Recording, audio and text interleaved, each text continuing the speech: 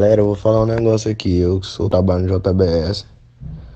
Ontem aconteceu um caso com nós do, do nosso amigo GG.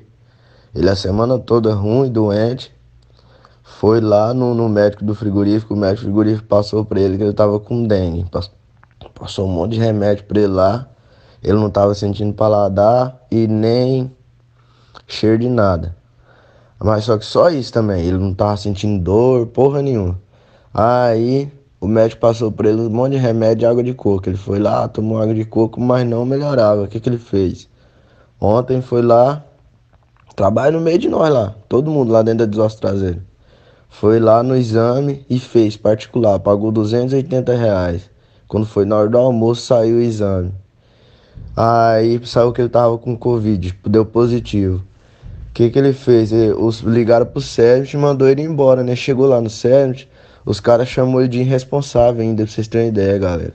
Chamou de irresponsável e falou que a culpa era dele. Ele falou, rapaz, eu falei que eu tava ruim aqui, eu vim aqui no médico dos seis, que vocês falaram que eu tinha dengue, como é que eu sou irresponsável?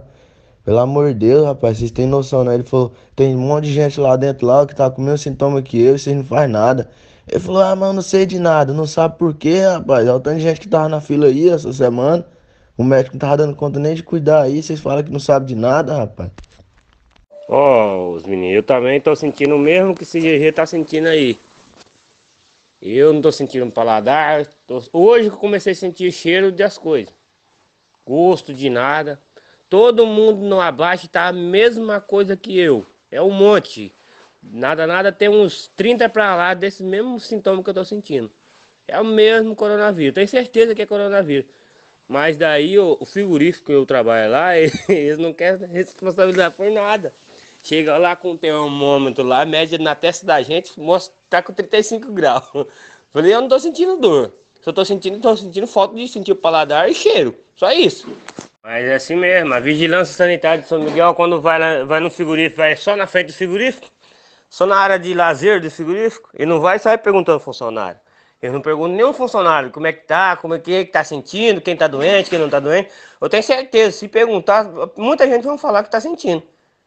Que ó, eu tô, o Desi tá, o, o, o, o João tá, o Robs tá, o Cezinha tá, quem mais? Tem mais gente que tá, o Nego tá, Nego, Nego Burro, todo mundo acha que conhece ele, Nego Burro também tá, tá o, o Robs, tá o Jamanta, tá o, o Marcos, tá o Marreteiro, tem o Altinha, trabalha perto de mim. O Márcio, irmão do Tim, também tá, mesmo sintoma.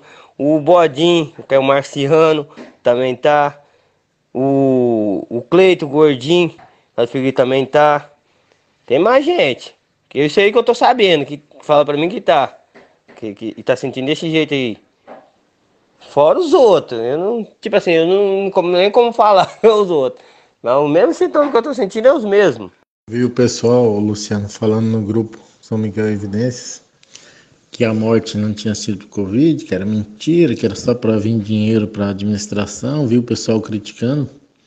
Eu quero ouvir agora essa situação acontecendo, realidade.